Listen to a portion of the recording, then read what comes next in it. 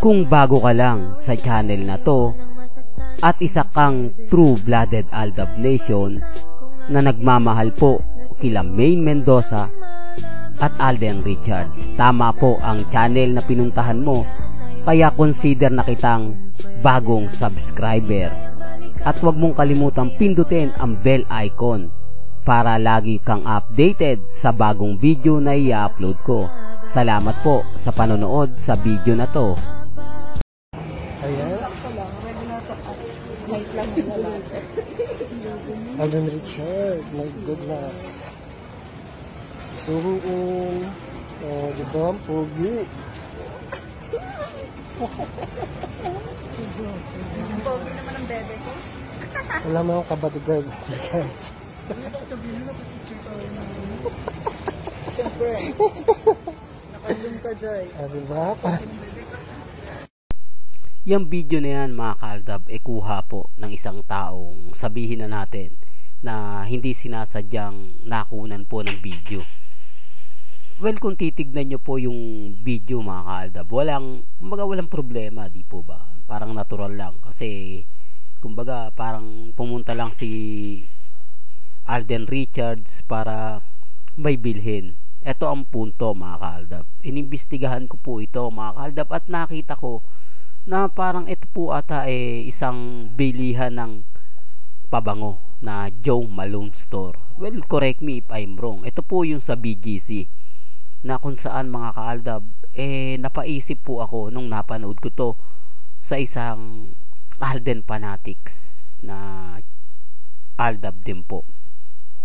May mga pagkakataon na masasabi ko, well, correct me if I'm wrong, mga kaaldab ah kung hindi kung nagkakamali po ako pero base po sa nakikita ko eh bibili po ito ng pabango. Well sa title pa lang mga kaaldab pwede nyo na po akong batikusin kasi alam nyo naman po at alam po ng buong Aldab Nation kung sino ang may paborito ng Joe Malone walang iba mga kaaldab kundi si Maine Mendoza. Well, para lang po sa kaalaman ng lahat.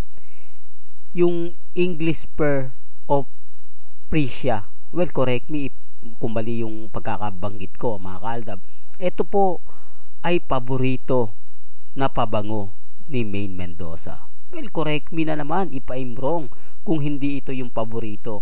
Sabi ko nga po kung isa po kayong main fanatics, sumagot po kayo kasi mas kumbaga alam nyo lahat ang kaganapan sa paborito ng iniidolo nyong si Maine Mendoza. Siyempre, iniidolo rin po natin yan. Kaya lang, siyempre, sa mga babae po, alam na alam po nila yan dahil kung ano yung pabango ni Maine Mendoza, eh binibili po nila. Di po ba? At dito, mga kaaldab, bistado na naman po si Alden Richards. Di po ba? Ito yung simple, pero malalaman mo ang katotohanan. Nabibigyan niya na naman ng regalo si Maine Mendoza.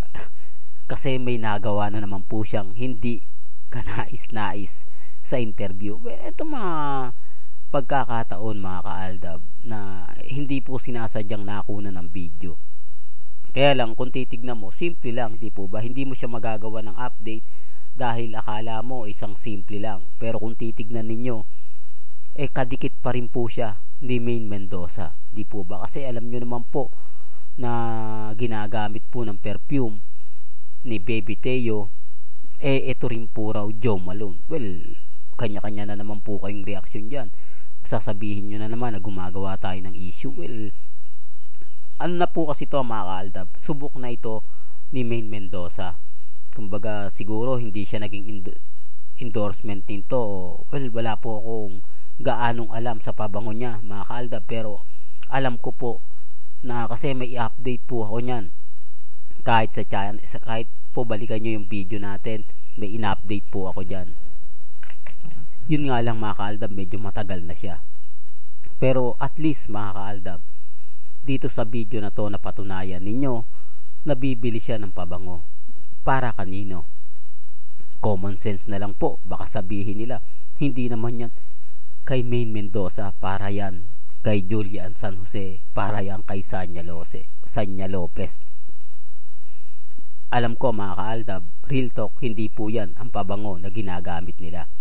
Kaya nga po 103% naniniwala po ako. Siyempre ang buong Aldab Nation na bibilin po ni, Main, ni Alden Richards eh para po yan kay Main Mendoza. Well, bahala po kayo magkomento. Bahala po kayo kung ano iisipin ninyo. Ang sa akin lang naman mga kaaldab, eh yan lang naman po yung paborito ni Main Mendoza. Well, kung pupunta po kayo, ito po ay nasa SM Aura sa BGC na kung saan mga kaaldab eh naiispatan din po si Main Mendoza.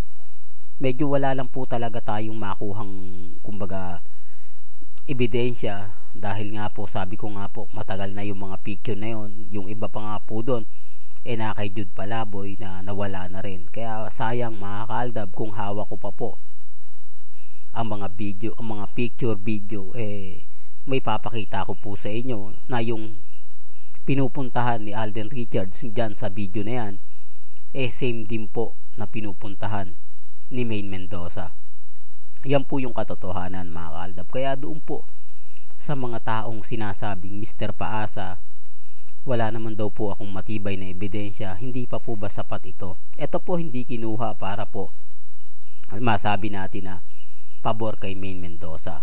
Ito po ay na, kumbaga napadaan lang at nabidyohan. Yun po yung kagandahan mga kaaldab.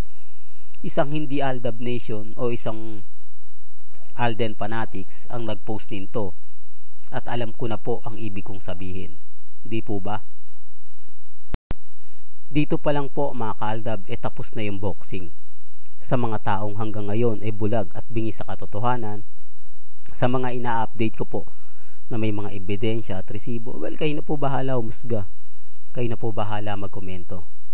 Basta sa akin lang mga kaaldab, kung ano po ang nakikita ko at kung ano po ang kumbaga ang ibig kong sabihin mga kaaldab, kung ano ang pinaninindigan ko at pinaniniwalaan, ayun po ang ipapakita ko sa inyo at ipararamdam sa mga taong hindi po naniniwala, e nire-respeto ko po at ginagalang kayo. Real talk mga kaaldab. Hanggang dito na lang po ang aking latest updates. Kaya kung bago lang po kayo sa channel na to, eh pakishare po yung video natin sa mga mamis, sa mga titas, sa mga tao pong nagmamahal kila Mengay at kay Tisoy. Hanggang sa muli, salamat po sa panonood at pakikinig.